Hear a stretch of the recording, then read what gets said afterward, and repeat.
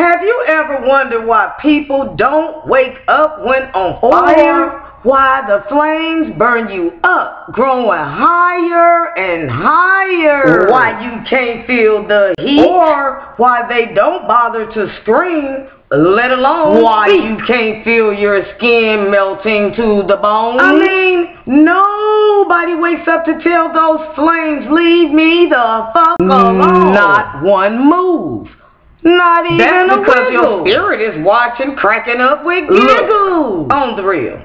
Your spirits take trips when you are asleep. You left that human frame. That's why you can't feel the heat. You leave your body so you can it's enjoy only life. at that moment that you're not your spirit smelt that smoke but said, fuck it, human, you're Take about a look to around you, and you'll understand they why. got a chance to leave the game with an legitimate And one excuse. thing that's for sure, they won't be missing this inhuman, so uh, now you know why you don't move when you fall asleep and get so burned. The pose you fell asleep will remain the same because you're leaving without again. Concern. That's while being burned.